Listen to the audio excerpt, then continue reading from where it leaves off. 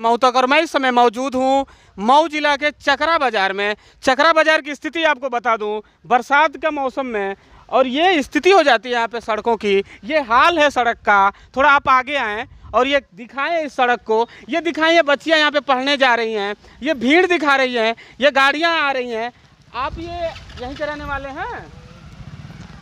ये देख सकते हैं जैसे ये लोग आ रहे हैं। और ये तस्वीरों में साफ़ दिख रहा है। थोड़ा सा आप आगे आइए। इनसे थोड़ा सवाल करते हैं।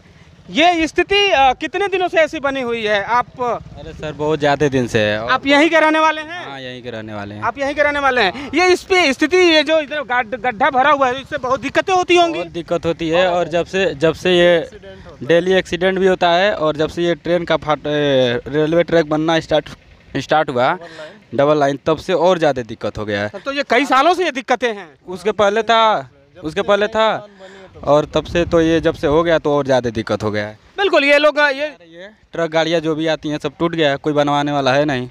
जी जी। हाँ। आ, बिल्कुल ये तस्वीरों में देख सकते हैं ये भाई साहब जो बता रहे हैं ये ये बता रहे हैं कि ये स्थिति बहुत दिनों से ऐसी है। आप ठीक खुद देख रहे होंगे कि पानी भरा हुआ है ये ठीक ये लबालब भरा हुआ है और ये मेन मार्केट है इस एरिया का देखा जाए। इस एरिया का कम से कम दस बारह गाँव का एरिया है और यहाँ से लोगों का निकलना होता है यहाँ कचहरी जाना होता है। यहाँ से कचहरी की दूरी कई किलोमीटर है?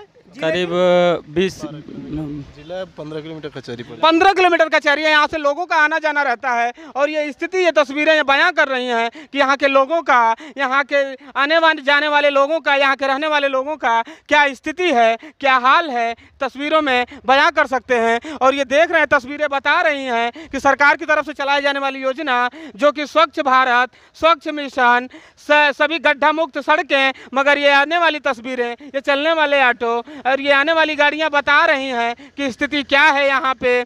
और यहाँ पे स्थिति बहुत ही खराब है। रोड पे पानी भरा हुआ है और लोग आने जाने के लिए इस पानी में मजबूर हैं। आखिरकार इनकी कौन सुनेगा? कौन है जिम्मेदार? और कौन है ये लोग? भाई साहब ये जो पानी भरा हुआ है आप यहीं के रहने वाले हैं? हाँ। यहीं के हैं?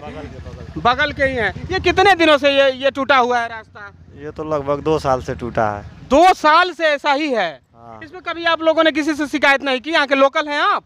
नहीं यहाँ से एक किलोमीटर बगल में घर है। तो कभी आप लोग शिकायत नहीं करते विभाग से? चाहे किसी से भी किसी को लेटर पत्र नहीं लिखते कि हम भैया ये रोड खराब है हमको इधर से आया ना। आपको पता है कि हम टैक्स तो खूब देते हैं सरकार को? हाँ। आजकल है तेल पे टैक्सवा दे रहे हैं तेलवा पे मसाला पे बीड़ी पे सिगरेट पे तंबाकू पे और ये खाने वाली जितने बात मतलब हम हर एक चीज़ पे देते हैं बाकी रोडवा कौन कब सही होगा? ये कभी सवाल नहीं करते किसी से कोई नहीं पूछता। भाई इसको प्रशासन जानेगी और विभाग जानेगा ना। मतलब यहाँ के आदमी को भी तो पूछना होगा ना। हाँ हाँ। विभाग तो अंधा हो सकता है ना प्रशासन शासन अंधा होता है उसको जाके कहना होता है उसके दरवाजे पर ठकठकाना होता है हाँ। क्योंकि उनको मोटी मोटी रकम मिलती है और उनको कोई दिक्कत नहीं है वो एसी में बैठ रहे हैं। हाँ? बड़ी बड़ी गाड़ियों में घूमते हैं। दिक्कत यहाँ के लोगों को है, दिक्कत यहाँ की जनता को है। और तस्वीरों में आप बयां कर रही हैं तस्वीरें कि ये कितने दिनों से ऐसे ही जलमग्न पड़ा है।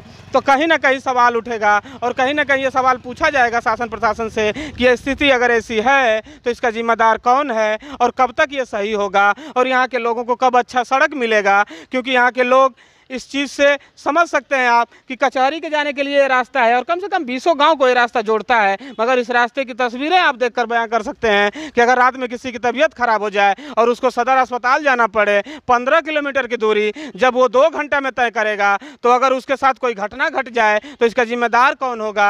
इसका, इसको किससे वो सवाल करेगा कि मुझे पंद्रह किलोमीटर की दूरी, तीन घंटे लगे जाने में, दो घंटे लगे जाने में, रास्ता खराब होने के कारण साथ साथ स्थिति खराब है तो आखिरकार इसका जिम्मेदार कौन है? और इसका जिम्मेदार कौन है? और ये सवाल पूछा जाएगा, और ये सवाल किया जाएगा। आप देख रहे थे मऊ तक, मैं संजय, नमस्कार।